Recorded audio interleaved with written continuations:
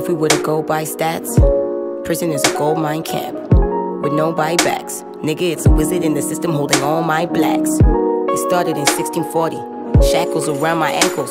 Melanin meant that I can't go to schools or read, cause who's gonna serve my master? Also, the pastor described all my people as The sheep who exist to upkeep the land. We feed the economy, creep all the crops, but then feed on it modestly, consciously knowing you're lesser than. And lighter skin means that you're better now. So you in the house taking whips and probably dick, cause well, you a fetish now. Meanwhile, I'm grateful for all that I'm given. I'm picking this cotton and rhythm. I pray for a lot of the living. Escaping is probably a sin, and if God ever finds out that I want my freedom, well, damn, then God's gonna call in the wrath. Two horses with opposite maps. Those nooses, they up in the trees, and I'm hanging, but I'll never fall like my pants. Then came the 13th Amendment, written in 1865. It says slavery is over acceptance, pay for doing crime.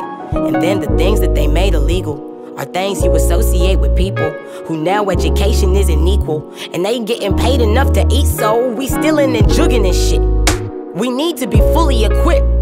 The system the new slave master brought in to stop us and bullying shit. Cause before we was stealing and jugging, the laws we was breaking was loitering. We go to the bend and we can't pay to find out the jail is who your employer is. This voyage is super intentional. You used to be students in medical.